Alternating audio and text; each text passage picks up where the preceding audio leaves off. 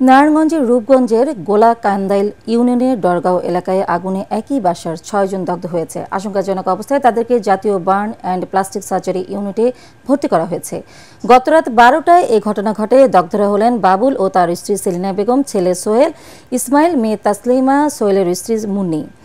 তারা ডহরগাঁও এলাকার জোলেখা বেগমের বাড়ির ভাড়াটিয়া। প্রত্যক্ষদর্শীরা জানিয়েছে, রাত বারোটার দিকে তাদের থাকার ঘরে আগুন জ্বলে ওঠে। এ সময় আশেপাশের লোকজন এসে কিছুক্ষণ পানি দিয়ে আগুন নিয়ন্ত্রণে আনে। এ সময় ঘরের ভেতরে থাকা ছয়জনকে দগ্ধ অবস্থায় উদ্ধার করে ঢাকা মেডিকেল কলেজের বার্ন ইউনিটে পাঠানো হয়। পুলিশ জানিয়েছে, ধারণা করা হচ্ছে, ঘরের ভিতরে গ্যাস জমা ছিল। রাতে ঘুমানোর সময় মশার কয়েল জ্বালানো থেকে আগুনের সূত্রপাত হতে পারে।